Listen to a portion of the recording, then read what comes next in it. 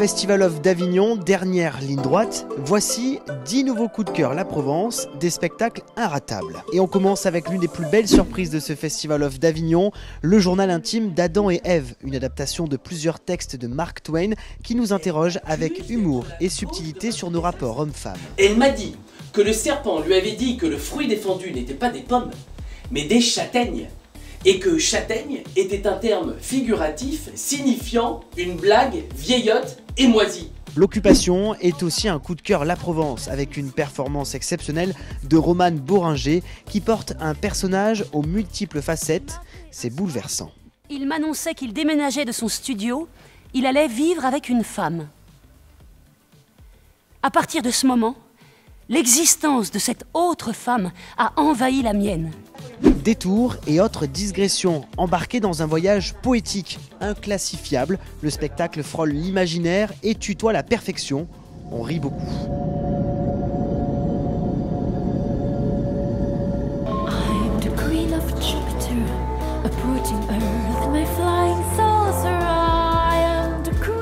C'est l'un des bijoux du Off. Tom à la ferme est une pièce les plus marquantes du théâtre contemporain à voir absolument.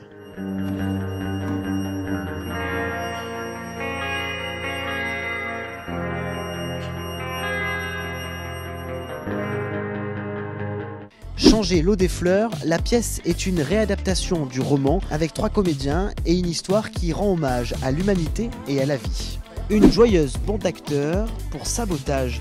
Des amis tombent sur une boîte mystérieuse. Ils vont devoir improviser avec le public. Le spectacle cartonne et c'est à chaque fois une représentation inédite. Le jeu pour s'unir les uns contre les autres. Mais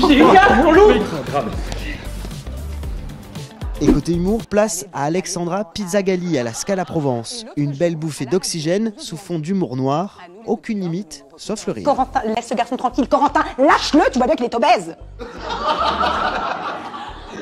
si vous vous battez, tu n'as aucune chance. Et ne compte pas sur moi pour te défendre. Bonjour madame, vous êtes la maman, tu continues Corentin, tu veux qu'il te mange Humour toujours avec Kostia et son spectacle Entre deux. Le Belge fait des étincelles à Avignon. Ça va madame Deux secondes, c'est parce que là, là, on, a, on, a, en humour, c'est très très rare, mais, mais, on, a, on, a, ce qu'on appelle une rieuse fontaine. Suffit de titiller et c'est parti. Côté chant et danse, on vous conseille Burlesque qui casse les codes du cabaret. C'est drôle, pétillant et rempli de second degré.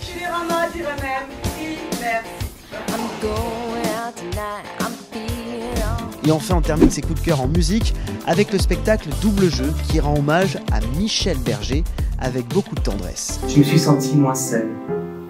Moins seul enfant, moins seul adulte, moins seul.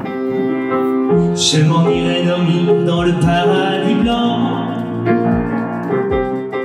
Le Festival of d'Avignon, c'est jusqu'au 30 juillet. Bon festival à tous.